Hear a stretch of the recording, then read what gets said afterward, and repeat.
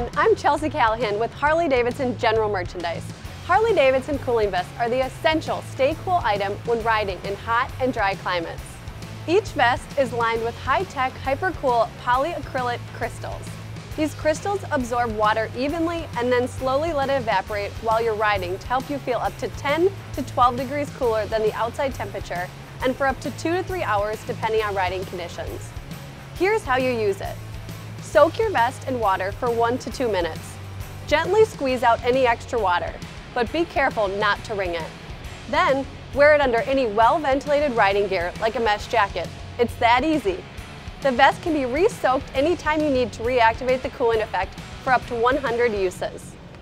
Need more cooling? Just add Cool Packs. Great for use in warm climates and humid conditions. Cool Packs feature a unique, non-toxic phase change material that helps draw heat away from the body to help you maintain a cool body temperature for up to three hours. How do you use them?